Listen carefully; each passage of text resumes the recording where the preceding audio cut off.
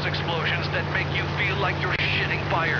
My trip began in Calcutta, where a... Oh, oh no, not again. Ah! There you have it. News from the front line. No matter how painful. That's what you get from New World Order. Abroad, as it really is. Dirty, smelly, and desperate for handouts from the greatest nation on earth. That's the truth. Now, if you're scared of people with different colored skin or a different belief system than you, it doesn't mean you're small minded.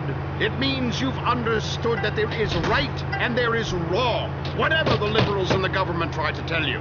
When you're facing the final judgment, try telling the real Supreme Court that you thought everyone was made equal. You'll get laughed out of court. It's a club, listeners. Anyone can join as long as they pay. But if they choose not to, they better live with the consequences. Let's take a caller. You're on New World Order. What's your problem with the broad? Hey, Yes. uh, Dwight? Yes. Uh, yeah, I want to talk about that Buddha guy. Okay. Man, I love that Buddha guy. I'm all about the little fat bastard. I can tell you what, that's the fucking hot shit enlightenment. I tell you what, boy, you sit under a tree, you're getting all the way to nirvana hot shit. Okay. What's your point? My wife